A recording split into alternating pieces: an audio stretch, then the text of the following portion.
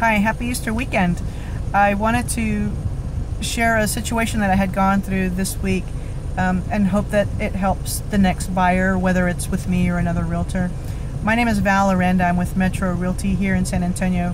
And earlier in the week, I met with a client of mine, first time home buyer.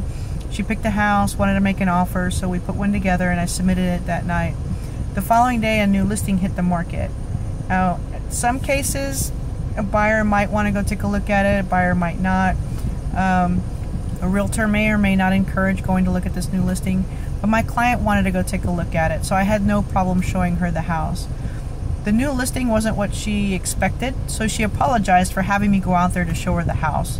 And I tried to reassure her, and what I want for my future clients to know is it's never a bother to show you a house. The reason why I took my time to go show her that new listing was so that she would know if the house she made an offer on was exactly what she wanted. She wouldn't have known otherwise. When we received a counter offer on the other house, if she hadn't seen the new listing, she may have wondered, is there something out there better for me? And when you have that in the back of your mind, it's very difficult to negotiate on what's on the table. So that's why I went to show her the new listing. It was important to me because I knew in the long run it would be important to her. So it's never a bother to go look at houses. With the great photography that, that we order nowadays and the descriptions that we use in our advertisements, it's very difficult to judge a house by an advertisement. Call your agent, get your realtor, go look at a house, even if you have an offer out.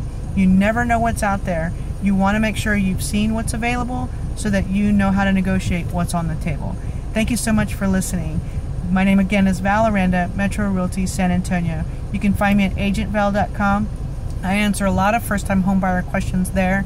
If you ever have questions, my phone is always on. agentval.com. Thank you very much.